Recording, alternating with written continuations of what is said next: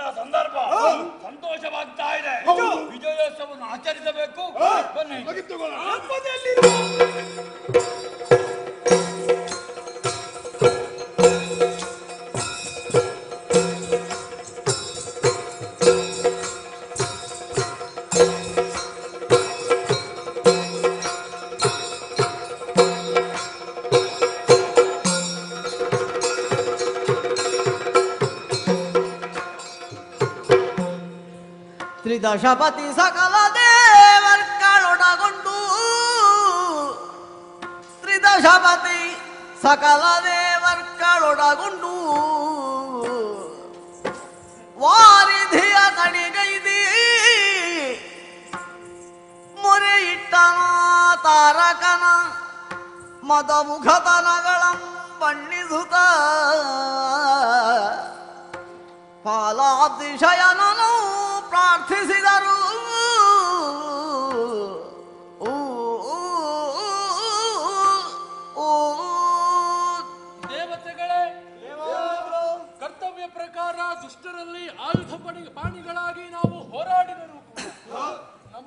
ತಾರಕನಿಗೆ ಸೋಲಾಗಿ ಹೋಯಿತಲ್ಲ. ಸಿಂಹ ವಿಷ್ಟರವನ್ನು ತಾರಕನೇ ಏರಿ ಮೆರೆಯುತ್ತಾ ಇದ್ದಾನೆ. ಲೋಕದಲ್ಲಿ ಅಧರ್ಮವೇ ಏಳಿಗೆಯನ್ನು ಪಡೆಯುತ್ತಾ ಇದೆ. ಏನು ಮಾಡೋಣ? ಶ್ರೀಹರಿಯ ಪಾದಗಳಲ್ಲಿ ಬೀಳುವುದಲ್ಲದೆ ನಮಗೆ ಬೇರೆ ದಾರಿ ಇಲ್ಲ. ಆದ್ದರಿಂದ ಆ ಕ್ಷೀರಾತಿಶಯನನ್ನೇ ಪ್ರಾರ್ಥಿಸೋಣ. ಜಯ ಜಯ ಜಯ ಜಯ ಜಯ.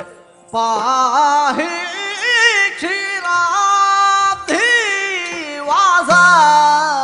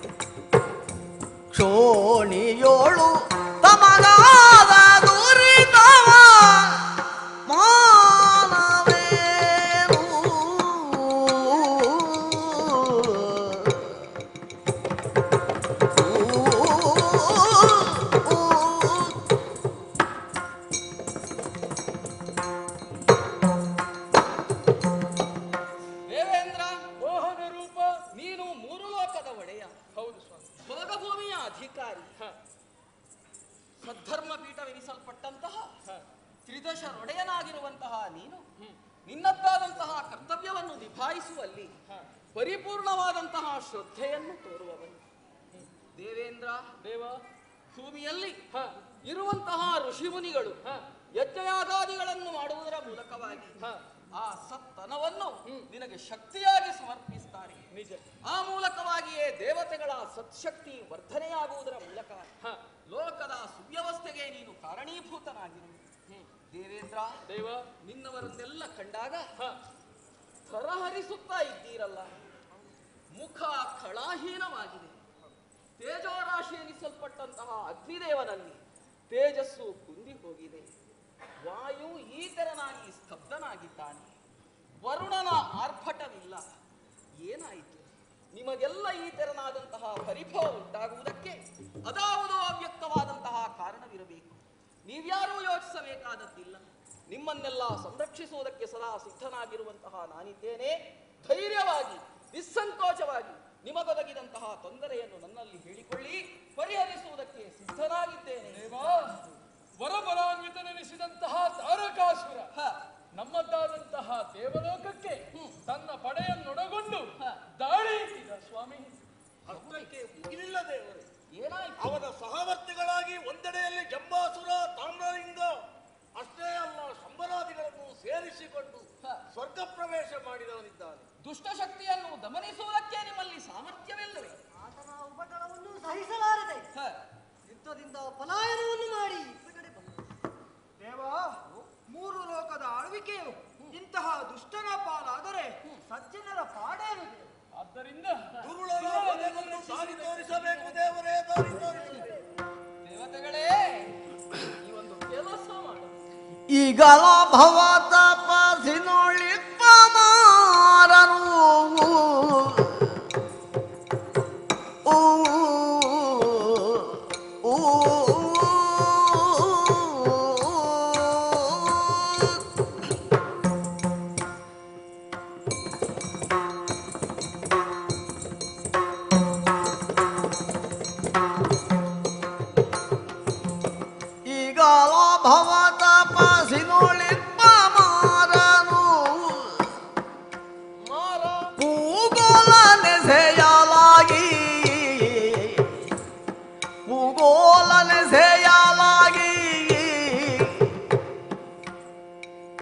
ನಾಗಭೂಷಣ ತಾಪ ಒಳಿದು ಪಾರ್ವತಿಯ. ನಾಗಭೂಷಣ ತಾಪ ಒಳಿದು ಪಾರ್ವತಿಯ. ಸಂಭೋಗಿ ಮದುವೆಯಾಗಿ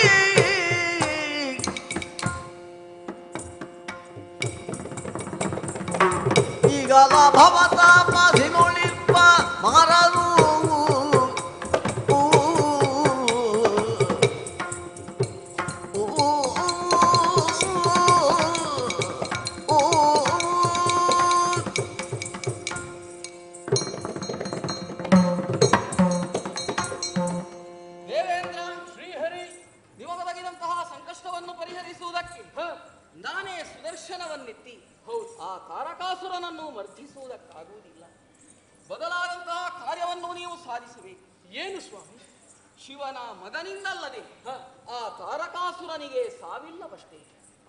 ಸಾಧ್ಯವೇ ಹೇಳು ಅವನು ಸೋಲನ್ನು ಹೊಂದುವುದಕ್ಕಾಗುವುದಿಲ್ಲವಲ್ಲ.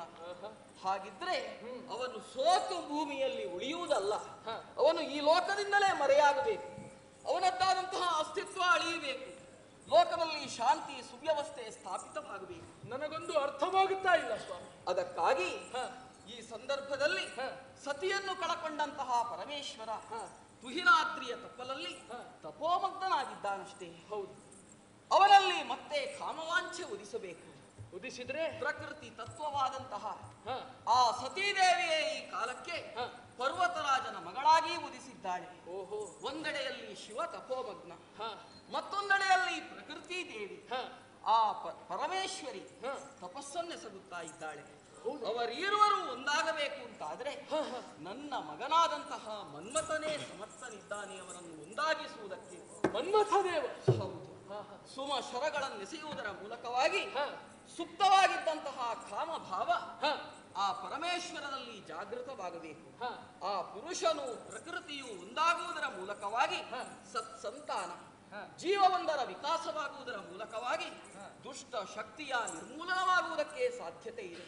ಆದ್ದರಿಂದ ನೇರವಾಗಿ ಹ. ಕುಸುಮಾವತಿಯೆಡೆಗೆ ಹೋಗಿ ಆ ಪಂಚ ಶರದಲ್ಲಿ ನಿಮಗೊದಗಿದಂತಹ ಸಂಕಷ್ಟವನ್ನು ಭಿನ್ನಯಿಸಿಕೊಳ್ಳಿ ಏನಾದರೂ.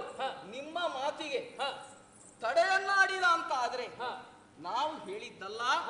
ನಿನ್ನ ತಂದೆಯಾದಂತಹ ವೈಕುಂಠಾಧಿವಾಸನಾದಂತಹ ಶ್ರೀಮನ್ನಾರಾಯಣನೇ ಹೇಳಿದ್ದಾನೆ. ನಾರಾಯಣನ ಮಾತಿನಂತೆ ನಾವಿಲ್ಲಿಗೆ ಬಂದಿದ್ದೇವೆ ಅಂತ ನೀವು ಹೇಳಿದ್ರಿ. ಆ ಕಾರ್ಯವನ್ನು ಖಂಡಿತವಾಗಿಯೂ ಸಾಧಿಸ್ತಾನೆ. ನೀವೆಲ್ಲರೂ ಕುಸುಮಾವತಿಯತ್ತ ತೆರಳಿ ಹಾಗಿದ್ರೆ ಪಂಚಶರನಿಂದ ಪಂಚಶಿರನ ತಪೋಭಂಗ ಆಗಬೇಕು. ನಿನ್ನ ಶಿರೋಧಾರಿಯ ಸ್ವಾಮಿ ತೆರಳು.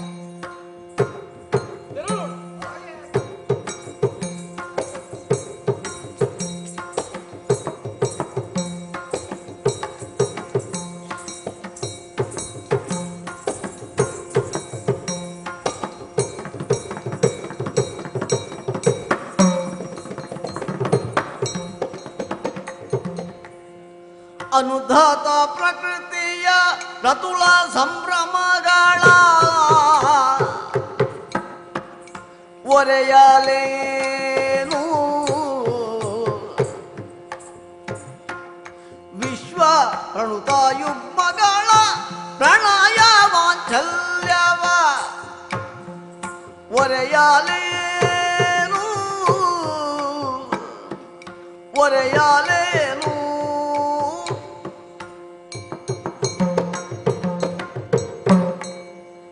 बन्दश्री मुकुन्दनन्दन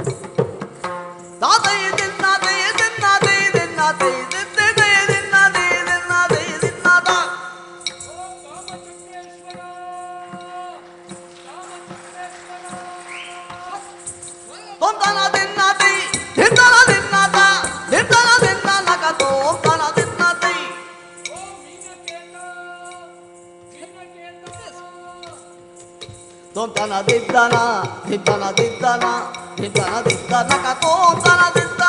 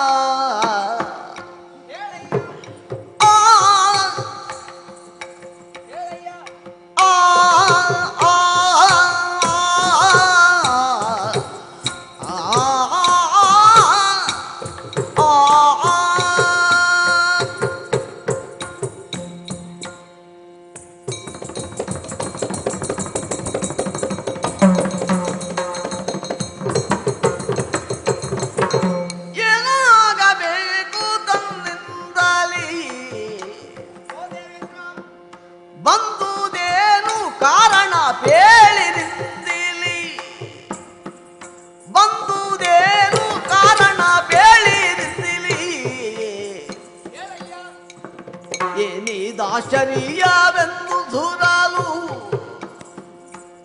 ಆಗಿ ಪತಿ ಭೇದ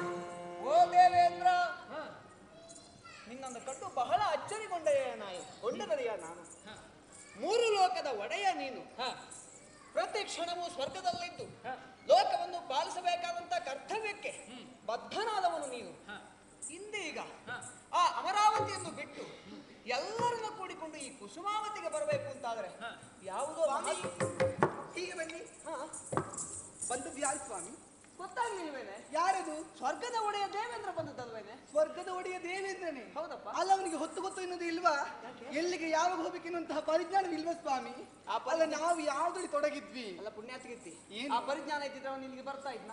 ಪರಿಜ್ಞಾನ ಅಲ್ಲ ಸ್ವಾಮಿ. ಮತ್ತೆ? ನೋಡಿ ನಾವು ನವರಸದಲ್ಲಿ ಪಾಲ್ಗೊಳ್ಳುತ್ತಾ ಇರುವಂತಹ ಸಂದರ್ಭ. ಹೌದು. ನಮ್ಮ ನವರಸ ಪೂರ್ತಿ ಆಗ್ಲೇ ಇಲ್ಲ. ಏನ್ ಮಾಡುವುದು ಹೇಳು? ಭಂಗ ಉಂಟಂದು ಕೊಟ್ಟಿದ್ದ ರಸ ಭಂಗ ಆದ್ರೆ ರಸದ ಮಹತ್ವಕ್ಕೆ ಗೊತ್ತಾಗುದು ಇವರ ನವರಸ ಪೂರ್ತಿಯಾಗುವುದಕ್ಕೆ ದಿನ ಹೂವಿನ ಪರಿಮಳವನ್ನು ದಾಟಿ ಬರ್ಬೇಕು ಅಂತ ಇದ್ರೆ ಯಾವುದೋ ಒಂದು ದುರ್ವಾಸನೆ ತಾಗಿದೆ ಎಂದು ಅರ್ಥ. ಹೌದಪ್ಪ. ಅಲ್ಲ ರತಿ. ಹೇ ಪುಣ್ಯಾತ್ಮ ಇಲ್ಲಿಯೇ ಇದ್ದೇನೆ. ಅದು ಇದು ಯಾರಿಗೆ ಎಲ್ಲಿವರೆಗೆ ಇನ್ನೂ ಗೊತ್ತಿಲ್ಲ. ನೋಡಿ ಹೆಂಡತಿ ಎದುರಿಗಿದ್ರೆ ನಮಗೆ ಕೈಕಾಲ ಆಡುವುದಿಲ್ಲ ಒಂದು ಕೆಲಸ ಮಾಡು. ಏನು? ಅವಳನ್ನು ಸ್ವಲ್ಪ ಒಳಗೆ ಕಳಿಸು. ಅದು ಒಳಗೆ ಕಳಿಸ್ಲೇಬೇಕಾ? ನೀನು ಹೆಂಗಸರು ಗಂಡಸರು ಮಾತನಾಡುವಾಗ ಹೆಂಗಸರು ಅದು ನೀನು ಒಳಗಿದ್ರೆ ಆಗ್ಲಿಕ್ಕಿಲ್ವಾ? ಸ್ವಾಮಿ ಹೀಗೆ? ಬನ್ನಿ. ಅವ ಹೇಳಿದ್ದೇನು ಗಂಡಸರು ಮಾತಾಡುವಾಗ ಹೆಂಗಸರು ಎಂತದಕ್ಕೆ ಅಂತೆ? ಹಾಗಿದ್ರೆ ನಾವು ಇಲ್ಲಿರುವಾಗ ಈ ರೀತಿಯಾಗಿರುವಾಗ ಅವ ಯಾಕೆ ಬರ್ಬೇಕಿತ್ತು? ಏನು ಮಾಡುದು? ಹೇಳಿ ಪ್ರಯೋಜನ ಎಲ್ಲ ಬಂದ ಆಗಿದೆಯಲ್ಲ ಪ್ರತಿ ಒಂದು ಕೆಲಸ ಮಾಡುವ. ಏನು? ಬಂದವನು ಎಂತ ಸಮಯದಲ್ಲೇ ಬರಲಿ. ಅತಿಥಿ ಅತಿಥಿ ಅಲ್ವೇ ದೇವರಿಗೆ ಸಮಾನ. ಅವರನ್ನ ಹೀಗೆಲ್ಲ ನಿರ್ವಹಿಸುವುದು ಸರಿಯಾಗುವುದಿಲ್ಲ. ಒಂದು ಕೆಲಸ ಮಾಡುವ ನೀನು ಒಳಗಿದ್ದದ್ದು ಆಮೇಲೆ ನಿನ್ನನ್ನು ಕರೆಸಿಕೊಂಡು. ಇದಕ್ಕೇನು ಇದಕ್ಕೆ ಕಡಿಮೆ ನಿಂತು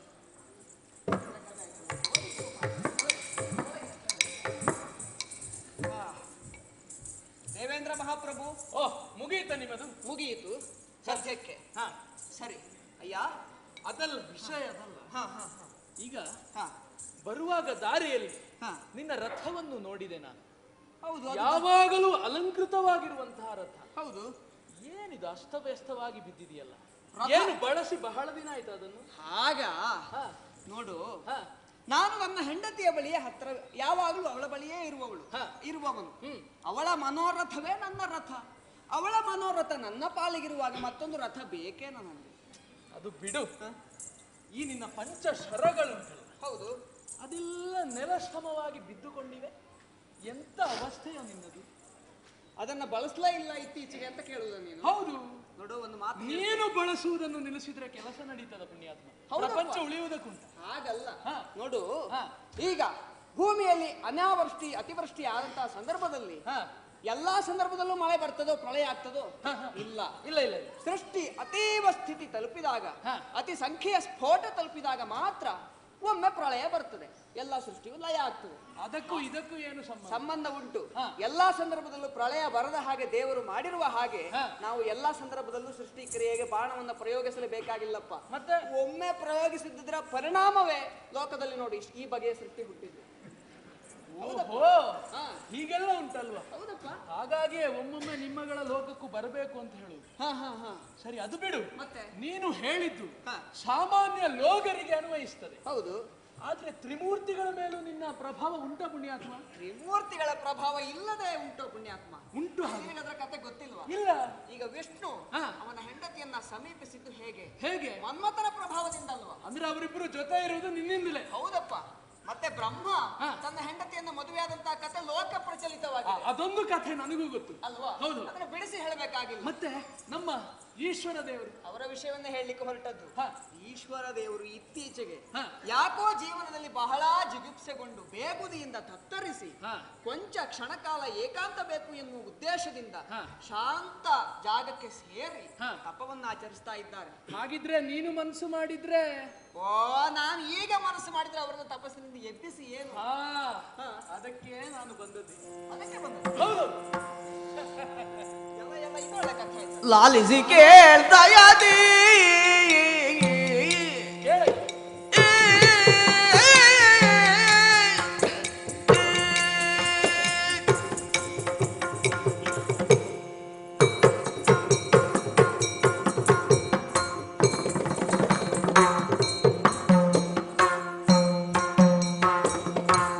ಲಾಲಿಸಿ ಕೇಳ್ದಯದಿ ಸದ್ಗುಣಶೀಲ ಕೃಪಾಶರಧಿ ಸದ್ಗುಣಶೀಲ ಕೃಪಾಶರಧಿ ಬೇಳುವೆ ತಾರಕ ಕೂಳನು ಪತ್ರವ. ಬೇಳುವೆ ತಾರಕ ಕೂಳನು ಪತ್ರವ.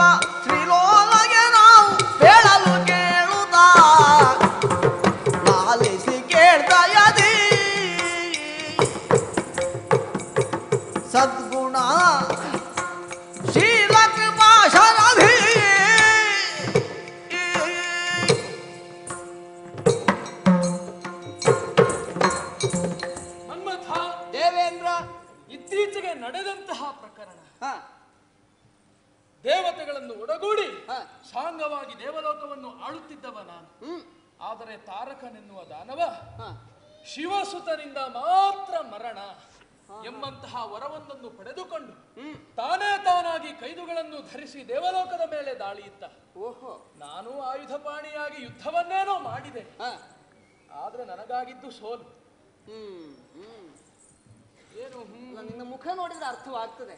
ಅದು ಬಿಡು. ಯುದ್ಧದ ಕತೆ ಏನಾಯ್ತು ಎನ್ನುವ ತದನಂತರ ನಾವು ಹೋಗಿದ್ದು ವೈಕುಂಠ ಲೋಕ. ಏನಾಯ್ತು? ಶ್ರೀಹರಿಯ ಪಾದವನ್ನು ಸ್ಮರಿಸಿದಾಗ ಆತ ಸೂಚಿಸಿದ್ದು ಒಂದೊಂದು. ಏನು? ಇದು ನನ್ನಿಂದಾಗುವಂತಹ ಕೆಲಸವಲ್ಲ ನೀವು ನನ್ನ ಮಗನಾದಂತಹ ಮನ್ಮಥನಲ್ಲಿಗೆ ಹೋಗಬೇಕು ಹೌದಯ್ಯ ಈಗ ನೀನೇನು ಮಾಡಬೇಕು? ಏನ್ ಮಾಡ್ಬೇಕಯ್ಯ ನಾನು? ನಿನ್ನ ಶರವ ತೊಡಿಸಿ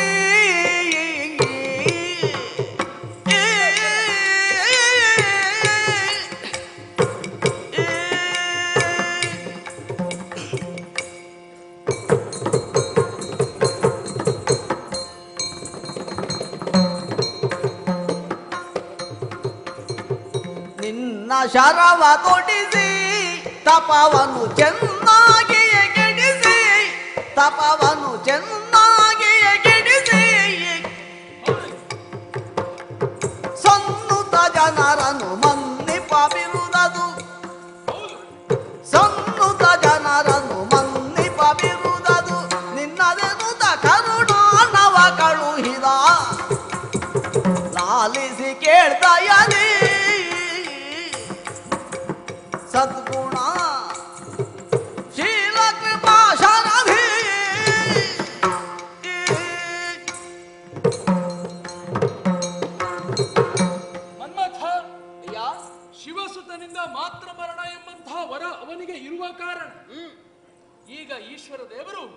ಗಾಢವಾದಂತಹ ತಪಸ್ಸಿನಲ್ಲಿ ತೊಡಗಿಕೊಂಡಿದ್ದಾರೆ. ಅಂದ ಮೇಲೆ ದಾಕ್ಷಾಯಣಿ ದೇವಿಯನ್ನು ಕಳೆದುಕೊಂಡ ಅವರಿಗೆ ಮಕ್ಕಳಾಗುವುದಾದರೂ ಹೇಗೆ ಸಾಧ್ಯ ಹೇಳು. ಆದ್ದರಿಂದಲೇ ಶ್ರೀಹರಿ ನಮ್ಮನ್ನು ನಿನ್ನಲ್ಲಿಗೆ ಕಳಿಸಿ ನೀನು ನಿನ್ನ ಪಂಚ ಶರಗಳನ್ನು ಪ್ರಯೋಗಿಸಿ ಚೆನ್ನಾಗಿ ಶಿವದೇವರ ತಪಸ್ಸನ್ನು ಕೆಡಿಸಿದೆ ಅಂತಾದರೆ ಹ, ತದನಂತರ ಆತನಿಗಾಗಿಯೇ ಹುಟ್ಟಿದಂತಹ ಪ್ರಕೃತಿ ಮಾತೆ ಭೂಲೋಕದಲ್ಲಿದ್ದಾಳೆ. ಅವರಿವರಿ ಈವರಿಗೂ ವಿವಾಹವೇರ್ಪಟ್ಟು. ಸಂತಾನವಾಗುವಂತಹ ಸಾಧ್ಯತೆ ಇದೆ. ಆ ಶಿವಸುತನಿಂದಲೇ ಹ. ತಾರಕನ ಮರಣ ಆಗುತ್ತದೆ. ಓಹೋ. ಲೋಕಕ್ಕೆ ಒಳಿತಾಗುತ್ತದೆ. ಹ್ಮ್. ಆದ್ದರಿಂದಲೇ ನಿನ್ನಲ್ಲಿಗೆ ಬಂದಿದ್ದೇನೆ. ಹ್ಮ್. ಪಂಚಶರ ಪಂಚಶಿರನ ತಪೋಭಂಗ ನಿನ್ನಿಂದಲೇ ಆಗಬೇಕು. ಎಂತಹ ಮಾತನಾಡಿದೆ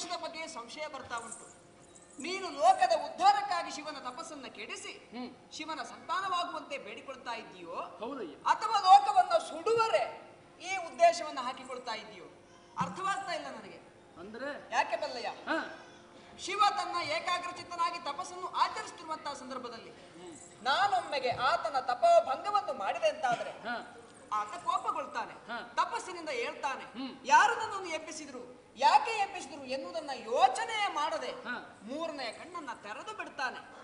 ನಿಟಿಲ ವಹ್ನಿಯಲ್ಲಿ ಹ. ಮೂಜಗ ಸುಟ್ಟು ಹೋಗ್ತದೆ. ಈಗ ಹೇಳು. ನೀನು ನನ್ನನ್ನು ಈ ಉದ್ದೇಶಕ್ಕಾಗಿ ಸಹಾಯ ಕೇಳಲು ಬಂದದ್ದು ಲೋಕವನ್ನ ಸುಡುವಂತೆ ಮಾಡುವುದಕ್ಕೋ. ಅಥವಾ ಲೋಕದ ಉದ್ಧಾರಕ್ಕೋ. ನಾನೊಂದು ವೇಳೆ ಶಿವನ ತಪೋಭಂಗ ಮಾಡಿದೆ ಅಂತಾದ್ರೆ ನಾನು ಸುಡುವುದು ಬಿಡು. ಮೂಜಗವು ಸುಟ್ಟು ಹೋಗ್ತದಲ್ಲ. ಆಮೇಲೆ ನಿನ್ನ ಪೀಠಕ್ಕೆ ಯಾರ ಗತಿ ಅಥವಾ ಮೂರು ಲೋಕ ಸುಟ್ಟು ಹೋದ್ರೆ ಹೋಗಲಿ ನಿನ್ನ ಪೀಠವನ್ನು ಉಳಿಲಿ ಅನ್ನುವ ಉದ್ದೇಶವು ನಿನ್ನದು ಹೇಗೆ? ಯೋಚನೆ ಮಾಡಯ್ಯ. ಏನು ಮಾತನಾಡ್ತೀಯ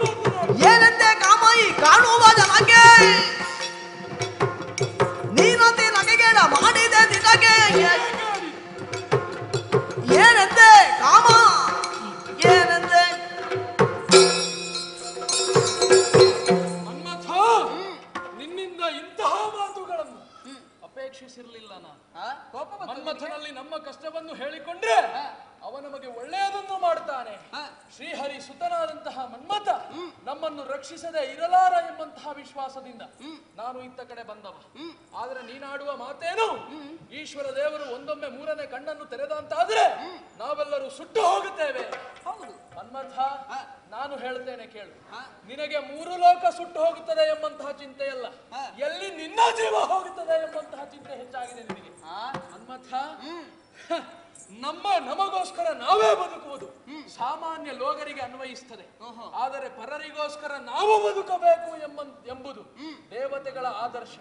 ಇದನ್ನು ನೀನು ಮರೆತು ಹೋಗಿರುವ ಹಾಗಿದೆ. ಈಶ್ವರ ದೇವರು ಕಣ್ಣನ್ನು ತೆರೆದಾಗ ಜಗತ್ತು ಸುಟ್ಟು ಹೋಗುತ್ತದೆ.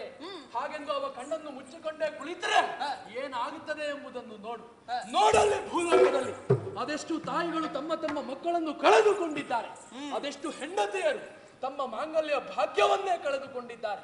ಎಷ್ಟೋ ಹಸು ಗೂಸುಗಳು ತಮ್ಮ ತಂದೆ ತಾಯಿಗಳನ್ನು ಕಳೆದುಕೊಂಡು ಅನಾಥರಾಗಿದ್ದಾರೆ. ಇಂತಹ ಅಧರ್ಮವೇ ಮೂರು ಲೋಕದಲ್ಲಿ ರಾರಾಜಿಸುತ್ತಿರುವಾಗ ಕೇವಲ ನಿನ್ನ ಜೀವದ ಬಗ್ಗೆ ಮಾತನಾಡ್ತೀಯೇನೋ ನೀನು? ಮನ್ಮಥ ಯಾರೇ ಆಗಲಿ ನಡೆದು ಬಂದ ಹಾದಿಯನ್ನು ಮರೆಯಕೂಡದು. ಅಲ್ವೇನೋ? ಹಾಗೆಂದು? ಒಮ್ಮೆ ನಿನ್ನ ಇತಿಹಾಸವನ್ನು ಸ್ಮರಿಸಿಕೊ. ದದೀತಿ ಜೀಮೂತ ವಾಹನರ ವಂಶದಲ್ಲಿ ಹುಟ್ಟಿದವ ನೀನು. ದದೀಚಿ ಮೂರು ಲೋಕದ ಕಲ್ಯಾಣಕ್ಕಾಗಿ ತನ್ನ ಬೆನ್ನಲು ಬಂದೇ ವಜ್ರಾಯುಧವನ್ನಾಗಿ ನನ್ನ ಕೈಯಲ್ಲಿಟ್ಟವ. ಇನ್ನು ಜೀಮೂತ ವಾಹನ ಕೇವಲ ಹಾವೊಂದನ್ನು ಉಳಿಸಬೇಕಾಗಿ ತನ್ನ ಜೀವವನ್ನೇ ತೆತ್ತವ ಗರುಡ ದೇವನಿಗೆ ಇಂತಹ ವಂಶದಲ್ಲಿ ಹುಟ್ಟಿದವ ನೀನು ರಣ ಹೇಳಿಯಂತೆ ಮಾತನಾಡ್ತಾ ಇದ್ದೀಯ. ನಿನ್ನಲ್ಲಿ ಕೆಲಸ ಆಗುವುದಿಲ್ಲ. ನೀನಿಲ್ಲದಿದ್ದರೆ ಮತ್ತೊಬ್ಬ ನಮ್ಮನ್ನು ರಕ್ಷಿಸುವುದಕ್ಕೆ ಮೂರು ಮೂರ್ತಿಗಳು ಸದಾ ಇದ್ದಾರೆ ಎನ್ನುವ ವಿಶ್ವಾಸ ನನಗೆ. ನಿನ್ನ ಸಹವಾಸವೇ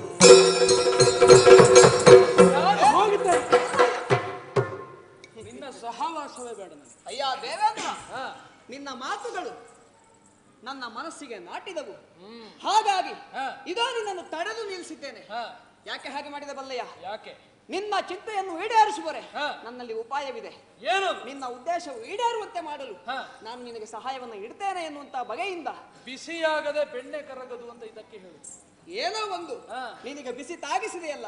ಬೆಣ್ಣೆ ಕರಗಿದೆ. ಹಾ. ಅಯ್ಯ ಹಾ. ಶಿವನ ತಪಸ್ಸನ್ನು ಕೆಡಿಸಬೇಕು. ಹಾ. ನನ್ನ ಪಂಚ ಶರಗಳನ್ನು ಆ ಪಂಚ ಶಿರನ ಮೇಲೆ ಪ್ರಯೋಗಿಸಬೇಕು. ಇದಲ್ಲವೇ ನಿನ್ನ ಉದ್ದೇಶ? ಹೌದು. ಇದು ಹಾ. ನಿನಗೆ ಮಾತನ್ನ ಕೊಡ್ತಾ ಇದ್ದೇನೆ. ಈ ಕಾರ್ಯವನ್ನ ಸಫಲನಾಗಿ ಮಾಡಿ. ಹಾ. ಲೋಕದ ಉದ್ಧಾರಕ್ಕಾಗಿ ಶ್ರಮಿಸುವರೆ. ನಾನೆಂದು ಹಿಂದೇಟು ಹಾಕುವವನಲ್ಲ. ಇದೋ ಅಷ್ಟ ದಿಕ್ಪಾಲಕರಿಂದ ಯಾವ ಸಹಾಯ ಬೇಕಿದ್ರು ಕೇಳು. ಹಾ. ನಾವು ನಿನ್ನ ಬೆನ್ನೆಲುಬಿನ ಬಾಧೆಯಲ್ಲಿದ್ದೇವೆ ಸಂತೋಷವಾಯಿತು. ಇನ್ಯಾವ ಚಿಂತೆಯೂ ಬೇಡ. ಶಿವನ ತಪೋದ ತಪ ತಪಸ್ಸನ್ನು ಮಾಡುತ್ತಿರುವಂತ ಜಾಗದಿಂದ ಶುಭ ವಾರ್ತೆಗಾಗಿ ಕಾಯುತ್ತಾ ಇರು. ಹೋಗಿ. ಹಾಗೆ ಆಗಲಿ ಹಾಗೆ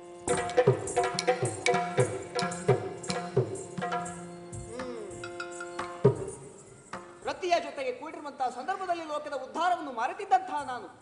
ದೇವೇಂದ್ರನ ಮಾತಿನಿಂದ ಎಚ್ಚರಗೊಂಡಿದ್ದೇನೆ. ಇನ್ನು ತಡ ಮಾಡುವುದಲ್ಲ. ಶಿವನ ಬಳಿಗೆ ತೆರಳಬೇಕು. ತೆರಳುವ ಮುನ್ನ ರತಿಗೊಂದು ಮಾತು ಹೇಳಬೇಕಲ್ವಾ?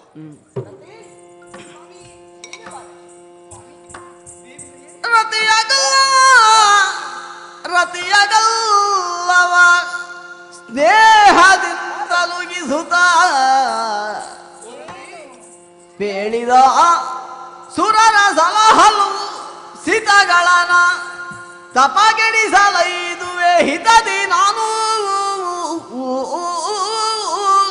ಓ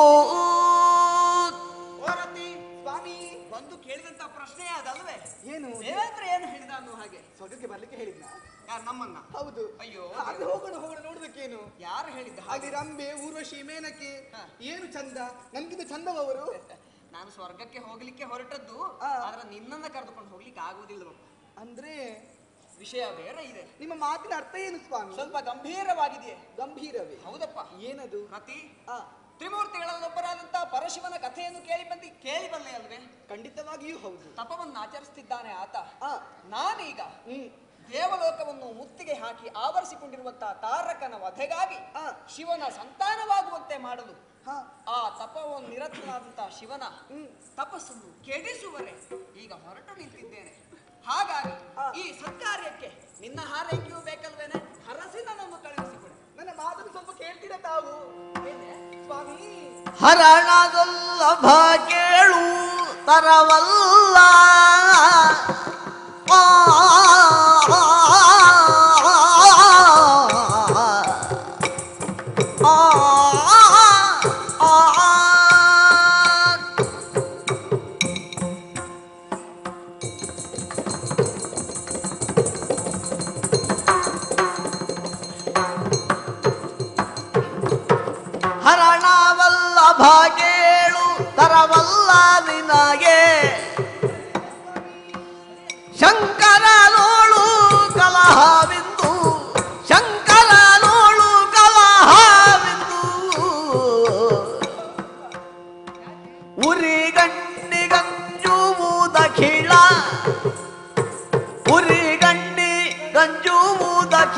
falou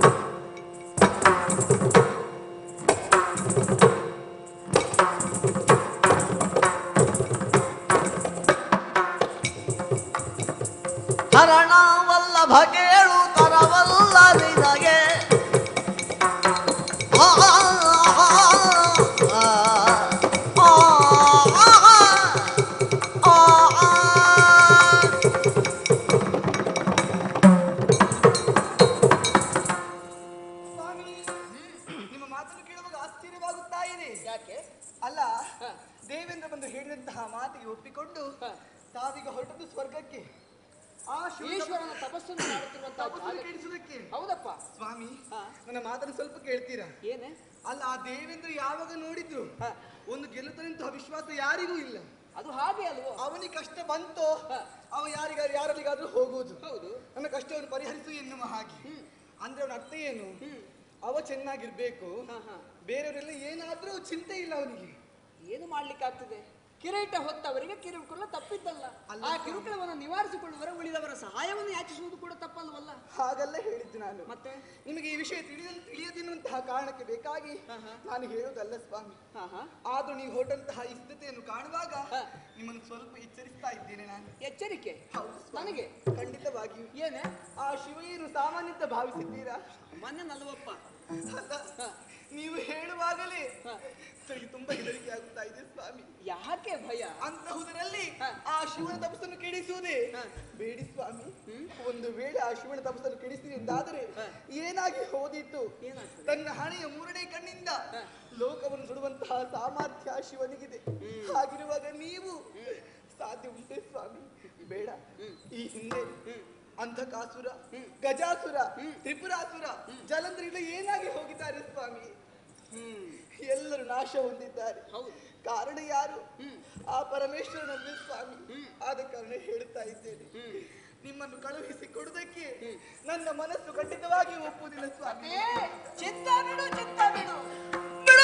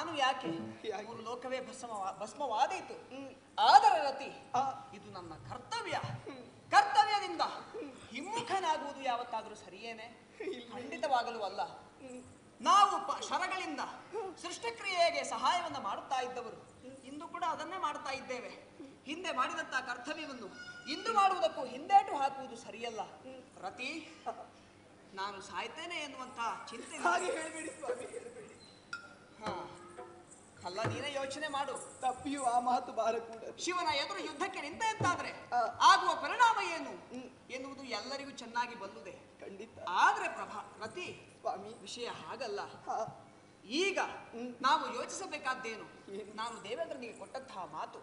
ಆ ಮಾತನ್ನು ಉಳಿಸಿಕೊಳ್ಳುವರೆ ನಾನು ಅಲ್ಲಿಗೆ ಹೋಗಲೇಬೇಕು. ಅಲ್ಲ ರತಿ ಒಂದು ಯೋಚನೆ ಮಾಡು. ಲೋಕದ ಉದ್ಧಾರಕ್ಕಾಗಿ ಸತ್ತಂತ ಒಂದು ವೇಳೆ ನಾನು ಸತ್ತರೆ ಲೋಕದ ಉದ್ಧಾರಕ್ಕಾಗಿ ಸತ್ತೆ ಅಂತಾದ್ರೆ ಆ ನನ್ನ ಕೀರ್ತಿ ನಿನ್ನನ್ನು ಕೂಡ ಕಾಯುವುದಲ್ವೇನೆ ಆದ್ದರಿಂದ ಹೇಳ್ತಾ ಇದ್ದೇನೆ ನಿನ್ನ ಚಿಂತೆ ಬೇಡ. ಇನ್ನೊಂದು ಮಾತನ್ನು ಹೇಳ್ತೇನೆ? ಒಂದು ವೇಳೆ ನಾನು ಶಿವನಿಗೆ ಬಾಣವನ್ನು ಬಿಟ್ಟೆ ಆತ ಕಣ್ಣನ್ನ ತೆರೆದ ತಪದಿಂದ ಎದ್ದ ಕೊನೆ ಕಡೆಯ ಪಕ್ಷ ಮೂರನೇ ಕಣ್ಣನ್ನು ತೆರೆದ ಅಂತ ಇಟ್ಕೋ. ಅವನ ಕಾಲಿಗೆ ಹೋಗಿ ಬಿದ್ದು ಬೇಡಿಕೊಳ್ತೇನೆ ಶಿವನೇ ನನ್ನ ತಪ್ಪನ್ನ ಮನ್ನಿಸಬೇಕು ಎನ್ನುವ ಹಾಗೆ.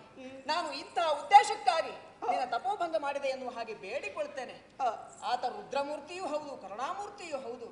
ನನ್ನ ತಪ್ಪನ್ನ ಮನ್ನಿಸಿ ಆತ ನನ್ನನ್ನು ಕ್ಷಮಿಸಲೂಬಹುದು. ಕ್ಷಮಿಸಲು ಬಹುದು ಹಾಗೊಂದು ವೇಳೆ ಕ್ಷಮಿಸಿದ ಅಂತಾದ್ರೆ ಒಂದೇ ಕಲ್ಲಿನಲ್ಲಿ ಎರಡು ಹಕ್ಕಿ. ಶಿವನ ತಪೋಭಂಗವೂ ಆಯಿತು ಲೋಕೋದ್ಧಾರವೂ ಆಯಿತು. ಜೊತೆಗೆ ನನ್ನ ಜೀವವೂ ಉಳಿಯಿತು ಎನ್ನುವ ಹಾಗೆ. ಆದ್ದರಿಂದ ಹೆದರಬೇಡ. ನಿನ್ನ ಧೈರ್ಯದ ಮಾತುಗಳೇ ನನಗೆ ಶ್ರೀರಕ್ಷೆ. ನಿನ್ನ ಕಣ್ಣೀರನ್ನು ಹಾಕಿ ನಿನ್ನ ಕಣ್ಣೀರನ್ನು ನೋಡಿ ನಾನು ಅಲ್ಲಿಗೆ ತೆರಳಿದೆ ಅಂತಾದರೆ ನನಗೆ ಒಳ್ಳೆಯದಾಗ್ಲಿಕ್ಕಿಲ್ಲ ಪ್ರತಿ ಒಮ್ಮೆ ಒಮ್ಮೆ ನಕ್ಕು ಬಿಡೆ. ನಗ್ಲಿಕ್ಕೆ ಬಾರುವುದಿಲ್ಲ ನಾನು ಏನು ಮಾಡಲಿ? ಹಾಗಾದ್ರೆ ನನ್ನನ್ನು ಕಳುಹಿಸಿಕೊಡುವುದಿಲ್ವೇನೆ ನೀನು? ಸಂತೋಷದಿಂದ ಕಳುಹಿಸಿಕೊಡುವುದಿಲ್ವೇನೆ? ಹಾ ನಿನಗೆ ಎಷ್ಟು ಬುದ್ಧಿ ಆತನ ಹೇಳಿದರು ಮೋಹದ ಮಾಯಲ್ಲಿ ಮುಳುಗಿರುವಂತಹ ನೀನು. ನಿನ್ನ ದುಃಖವನ್ನು ಬಿಟ್ಟುಕೊಡಲಾರೆ ನೀನು. ಹ್ಮ್. ಪ್ರತಿ ನೀವು ಸ್ವಲ್ಪ ಹತ್ತಿರ ಇಲ್ಲದಿದ್ರು ನನಗೆ ನಿಮ್ಮದೇ ನೆನಪುವಾಗುದು ಸ್ವಾಮಿ ನೀನು ಏನಂತ ಭಾವಿಸಿದ್ದಿ? ಬರೀ ನಿನಗೆ ಮಾತ್ರ ನನ್ನ ನೆನಪಾಗುವುದಂತಲ್ಲ ನಾನು ಕೂಡ ನಿನ್ನ ನಿನ್ನನ್ನು ಕಳೆದುಕೊಂಡ್ರೆ ಎಷ್ಟು ವಿರಾದಿಂದ ಬಾಧೆ ಬಾಧೆಗೊಳಗಾಡುತ್ತೇನೆ ನನಗೆ ಗೊತ್ತುಂಟು. ಪ್ರತಿ ಇಂಥ ಮಾತುಗಳನ್ನಾಡಿ ನನ್ನನ್ನು ಕಟ್ಟಿ ಹಾಕುವುದಕ್ಕೆ ಪ್ರಯತ್ನಿಸಬೇಡ. ನೋಡು ನಾನೀಗ ಹೋಗಲೇಬೇಕು. ನಾನು ಹೋಗಲೇಬೇಕು. ನೀನು ನಗುಮುಖದಿಂದ ಕಳುಹಿಸಿಕೊಡುವುದಿಲ್ಲ ಅಂತಾದ್ರೆ ನಾನೇನು ಇಲ್ಲಿ ನಿಲ್ಲುವವನಲ್ಲ ಹೋಗುವವನೇ? ಹೋಗುವವನೇ? ಇದು ಹೊರಟು ಹೊರಟು.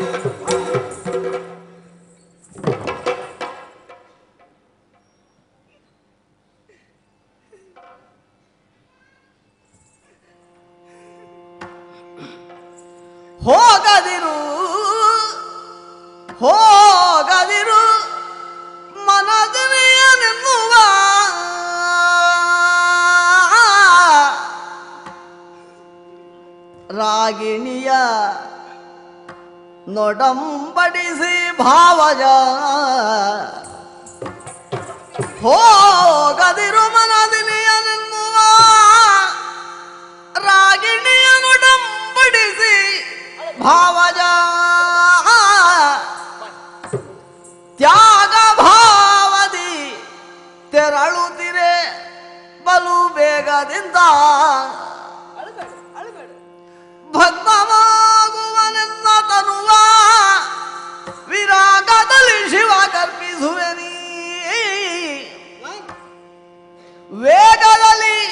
ಸೇರನ್ನ. ಬಾ ಬಾ ಭೋಗಿ ಕುಂತಳೆ ವೇಗದಲ್ಲಿ ಸೇರನ್ನ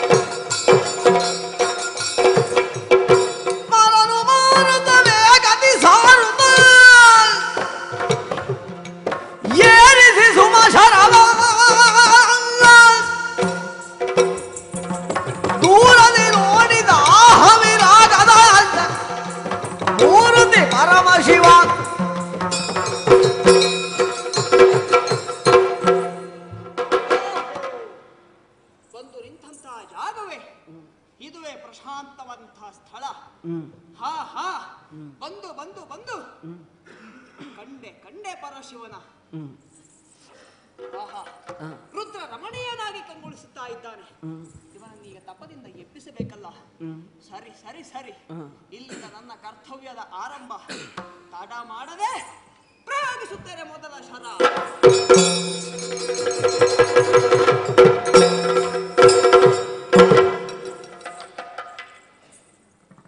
ನಾನು ಪ್ರಯೋಗಿಸಿದ್ದು ಅರವಿಂದ ಎಂಬ ಶರ. ಕಮಲದ ಹೂವಿನ ಹಾಗೆ. ಈ ಶರದ ಆಘಾತಕ್ಕೊಳಗಾದವರು. ತಮ್ಮ ಮನಸ್ಸನ್ನು ಅರಳಿಸಿಕೊಳ್ಳಬೇಕು. ಶಿವ ಇಲ್ಲ ಹೇಳಬಹುದಿತ್ತು ಆದ್ರೂ ಹೇಳಲಿಲ್ಲ ಸರಿ ಸರಿ ಸರಿ ಹಾಗೆಂದು ಕಣ್ಣು ಬಿಡುವ ಪ್ರಯತ್ನವೂ ಆಗದಿದ್ರೆ ಏನಾಯ್ತಂತೆ? ಕೊಂಚ ಅನುಗಾಟವಾದ್ರೂ ಕಂಡು ಬಂದಿತ್ತಲ್ಲ? ತಡ ಮಾಡದೆ ಇದು ಸಿಂಚನಿಗೆ ಎರಡನೆಯ ಅಶೋಕ ಶರವನ್ನು ಜೋಡಿಸಿದ್ದೇನೆ. ಇದು ಇದರ ಸ್ಥಿತಿ ಏನಾಗ್ತದೆ ನೋಡೋಣ.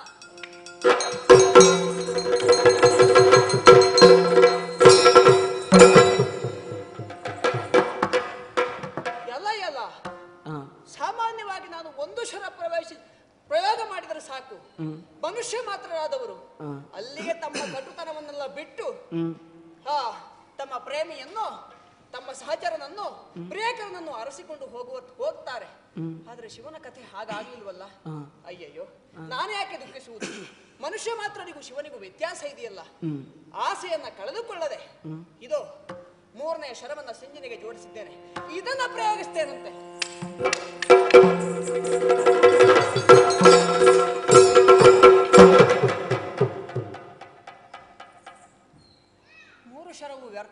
ಹೋಯ್ತಲ್ಲ ಎರಡು ಶರ ಪ್ರಯೋಗವಾಗುವವರೆಗೆ ನನಗೊಂದು ಧೈರ್ಯ ಇತ್ತು. ಶಿವ ಮೂರನೇ ಶರಕ್ಕೆ ಕಣ್ಣು ಬಿಡಬಹುದು ಎನ್ನುವ ಹಾಗೆ. ಈಗ ತಕ್ಕಡಿಯ ಬಲಾಬಾಲ ಶಿವನ ಕಡೆಗೆ ಹೆಚ್ಚಿದೆ. ನನ್ನ ಕಡೆಗೆ ತಗ್ಗಿದೆ. ಉಳಿದದ್ದು ಎರಡೇ ಎರಡು ಶರ. ನಮ್ಮ ಮಲ್ಲಿಕಾ ನೀಲೋತ್ಪಲ ಏನು ಮಾಡಲಿ? ಹಾ ಹಿಂದೆ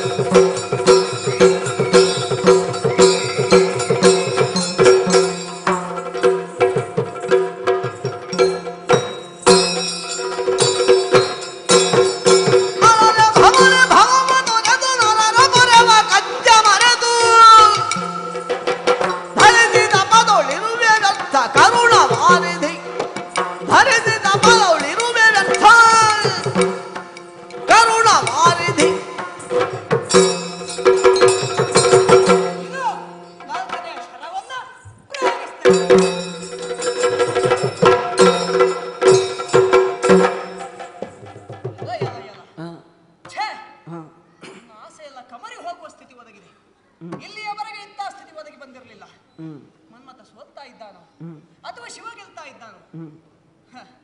ಶಿವ ಗೆಲ್ಲುವ ಮಾತೆ ಎಲ್ಲಿಯದು ಸ್ವಾಮಿ? ಎಲ್ಲವನ್ನು ಗೆದ್ದವನೇ ಅವನು. ತಪವನ್ನು ಆಚರಿಸುತ್ತಿರುವವನು. ಗೆಲ್ಲಬೇಕಾಗಿರುವವನು ನಾನು. ನಾನು ಸೋಲುವ ಹಾಗಿಲ್ಲ. ದೇವೇಂದ್ರನಿಗೆ ಮಾತು ಕೊಟ್ಟು ಬಂದಿದ್ದೇನೆ. ಪಂಚ ಶರಗಳನ್ನು ಪ್ರಯೋಗಿಸಿ. ಶಿವನ ತಪಸ್ಸನ್ನು ಕೆಡಿಸ್ತೇನೆ ಎಂದು ಹಾಗೆ.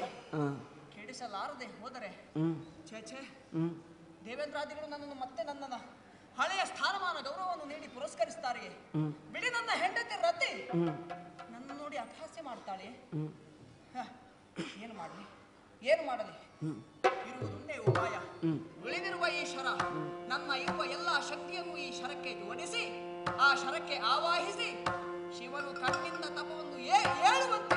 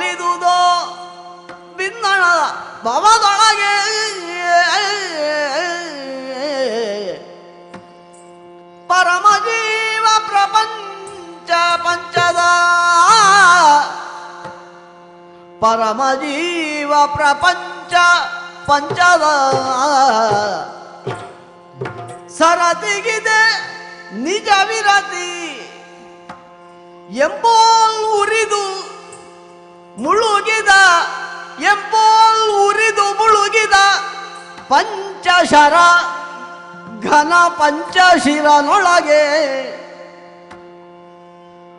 ಉರಿದು ಮುಳುಗಿದ ಪಂಚಶರ ಘನ ಪಂಚಶಿರನೊಳಗೆ